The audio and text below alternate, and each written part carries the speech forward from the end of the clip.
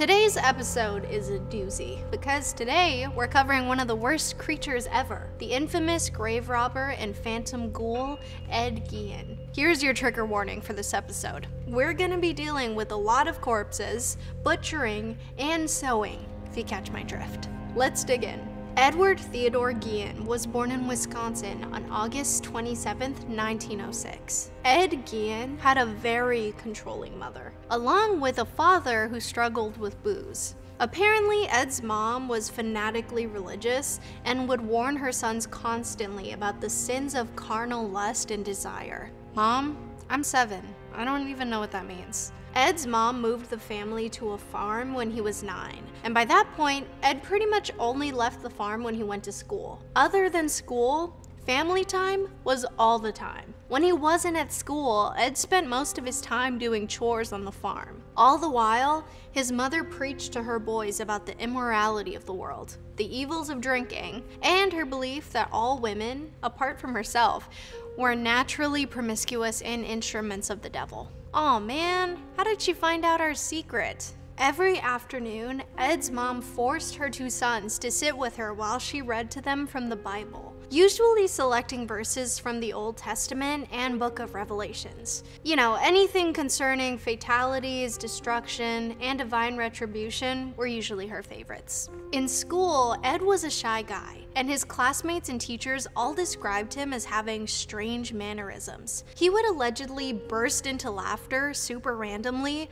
almost as if he was laughing at his own jokes. And to add insult to injury, his mother would punish Eddie if he tried to make any friends, so he kept to himself and was friendless. What do you get when you cross an intelligent, antisocial boy with a traumatically religious mother and a booze motivated father? A man so terrifying, he would inspire horror movie villains for decades to come. In 1940, Ed's dad passed from his addiction, so Ed and his older brother Henry started working odd jobs to support the fam bam. The brothers were considered generally reliable and honest by the neighborhood, and they both worked as handymen, while Ed frequently babysat for neighbors, despite his sometimes odd and creepy behavior. Ed seemed to relate more easily with children than to other adults, though. But when Henry planned to move in with this divorced mom of two that he had been dating, he started to worry about leaving Ed behind. He was also getting increasingly concerned about Ed's attachment to his mother. Ed was high key obsessed with his mommy.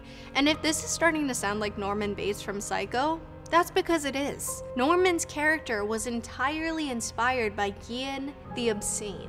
Henry regularly badmouthed their mom around Ed, who always seemed to be very shocked and hurt by these statements. A few years went by with Ed and Henry supporting the family until one day in 1944, the brothers were burning brush on the property when the fire apparently got out of control. The local fire department arrived, and by the end of the day, the fire was extinguished, and Ed reported his brother missing. A search party gathered with lanterns and flashlights and searched for Henry, who they finally found lying face down on the property. It looked like he had been expired for some time, and it didn't look like he'd been burned in the fire. At first, they assumed the cause was something like heart failure, but it was later reported that Henry had bruises on his head. The police dismissed the possibility of foul play, but the county coroner later listed the official COD as asphyxiation. No official investigation or autopsy was ever performed, but once Ed's other crimes came to light, people weren't so certain that this was an accident after all. I wonder if he was inspired by the story of Cain and Abel that his mom read to him growing up.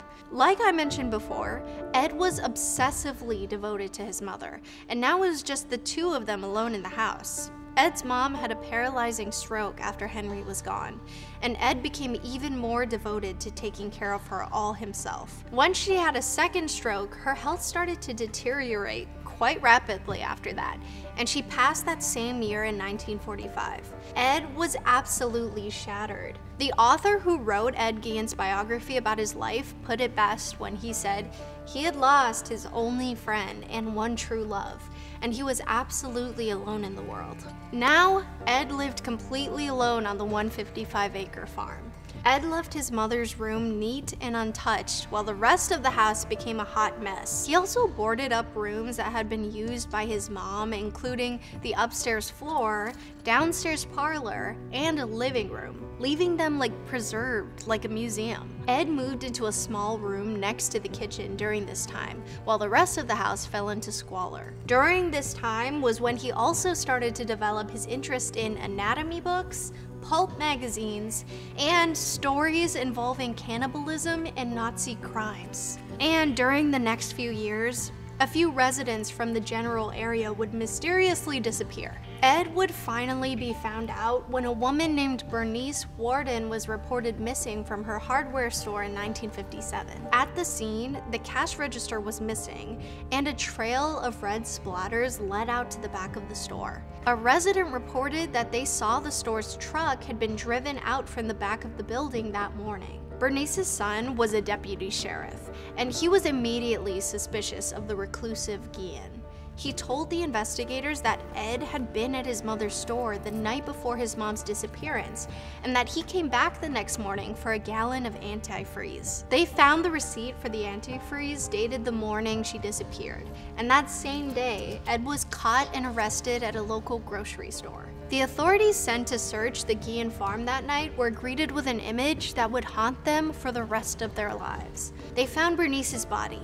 Brace yourselves, it's bad. She was found headless, gutted, and hanging from the ceiling upside down. She'd been taken out by Ed's 22 caliber, and they described the way he had mutilated her body as if she was a deer he'd hunted. Further investigations found even more monstrosities in Ed Gein's House of Horrors some of which were organs in jars, bone fragments, noses, lips, and fingernails, and various items fashioned all from human skin, including a wastebasket made from skin, armchair cushions, leggings from someone's legs, a mask from a woman's face, a lampshade from a face, and some skulls were being used as soup bowls.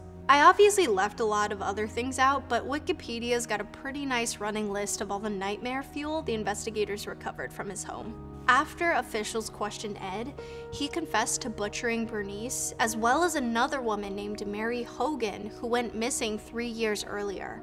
He also confessed to digging up multiple corpses and taking their parts. You know, so he could practice making masks and suits out of their skin to wear at home. If you guys didn't already know, Ed Gein was a big inspiration for Buffalo Bill in The Silence of the Lambs. Along with exhuming corpses and fashioning his new clothing line, Ed was a straight up necro, you know what. Between 1947 and 1952, he made as many as 40 separate trips in the middle of the night to local graveyards to exhume recently buried bodies. He described being in a daze like state when he did it, and visited three separate cemeteries for his trophies. On about 30 of those visits, he said he came out of the dazed state and ended up leaving the grave empty handed. On other occasions, he dug up the graves of recently buried middle aged women who he thought looked like his mom. Rumor has it, he would take the bodies home and tan their skins to make his pieces. Ed eventually admitted to stealing from nine graves at the local cemeteries and even led the investigators to the locations. And get this, in order to prove that Ed Gein could have actually done it, the investigators went in and exhumed three different graves themselves. Ed was only 5 foot 6 and weighed 130 pounds soaking wet, so they weren't so sure it was physically possible especially because he would go several nights in a row. The caskets themselves were inside these wooden boxes that were buried two feet below the ground in sandy soil. And Ed said he'd robbed the graves soon after the funerals when the graves were not yet completed. Sure enough, when the investigators exhumed the graves, they found them to be exactly as Ed said they would.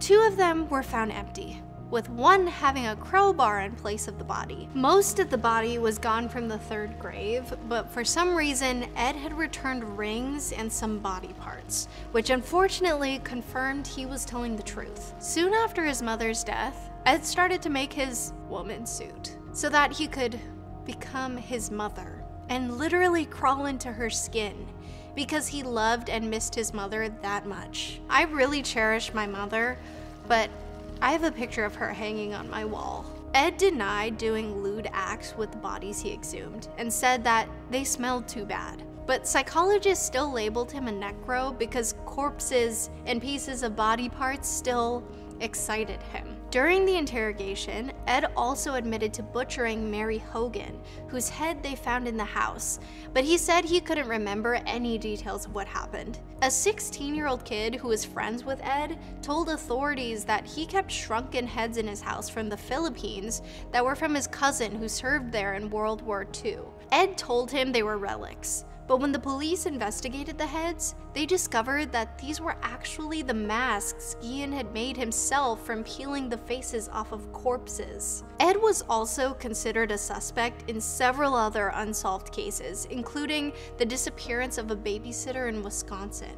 Authorities attempted to connect him to other murders and disappearances from recent years, but they could never prove it. Ed's lawyer decided to enter a not guilty plea by reason of insanity, and Ed was found unfit to stand trial. He was sent to a state mental hospital where he worked as a carpenter's assistant and a medical center aide. Ten years after being committed to the institution, Ed was finally determined fit to stand trial. He was found guilty of the crimes against Barbara Worden and was yeeted right back to the state hospital. Ed became a fascinating person to study for psychologists, who, up until this point, thought men like Ed were the works of fiction. They were morbidly captivated by his terrifying hobbies and wanted to know why. And I would personally like to know why, God? Ed had explained to psychologists that when he was a child, he often wondered what it would be like to be a woman, and it sounded like it became a fixation for him. He thought that by making his own epidermis onesie, he could feel what it would be like to be a woman. The Gein house and property was appraised, and his possessions were scheduled to be auctioned off. It was also rumored that the house and the land it stood on might become a tourist attraction, and all of us are probably descendants of the tourists who showed up to look at his property. But early one morning in 1958, the house was destroyed by fire. Arson was suspected, but the cause of the fire was never officially determined. When the institutionalized Ed found out about the fire, he just shrugged and said, just as well. Even though he only ever admitted to actually butchering two women, experts believe he was most likely responsible for many more, but we will never know for sure. he truly is the worst. Thanks for watching!